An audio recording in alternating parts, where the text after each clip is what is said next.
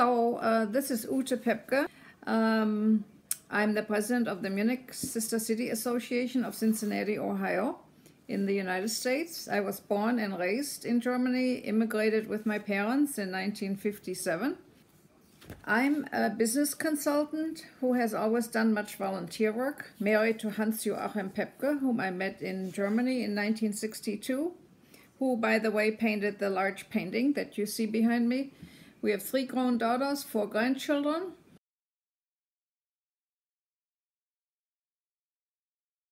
Well, we spent February and March on Marco Island in Florida near Naples. And Marco is the largest island in the Everglades. While there, we were all encouraged to keep six foot distances. We still had a good time and drove home 1,100 miles in two days on March 31st this year, as we had planned.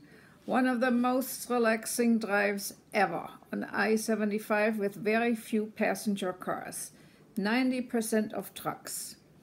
Hans and I took turns driving, stayed in a hotel we knew and had reserved. We saw no police. I took a face mask for each of us, disposable plastic gloves, sanitizer wipes, plus our own food for the trip. After getting gas, I wiped the credit card as well as the handle of the pump. Better safe than sorry. My husband is 82 and had a heart valve replaced September 30th, 2019, and I'm 78 but very healthy. Thus, we belong to the group of people who are encouraged to stay home.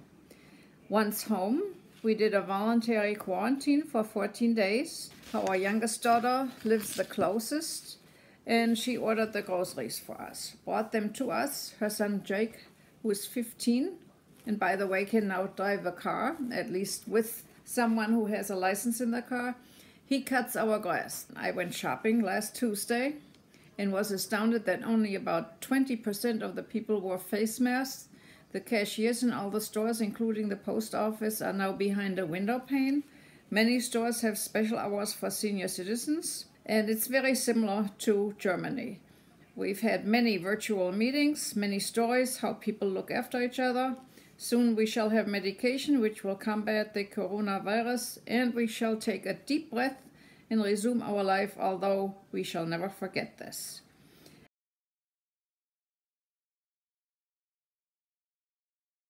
I felt especially bad when I had to cancel the visit of 15 students and two chaperones from Munich who planned to come to Cincinnati April 5th.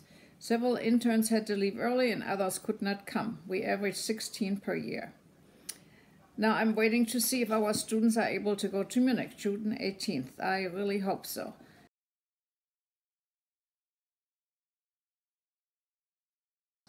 Although we are very concerned, we remind ourselves that we grew up at the end of World War II. We shall survive if we are cautious. You cannot have fear overwhelm you. Here we're now talking about opening up many things and people are going back to work. It's a lesson for all of us to be kind to each other and have patience. I suspect the Fessler dancers will dance in Munich once again this year. Please stay safe and smile. It's good for the soul. Alles, alles Gute. Bye bye.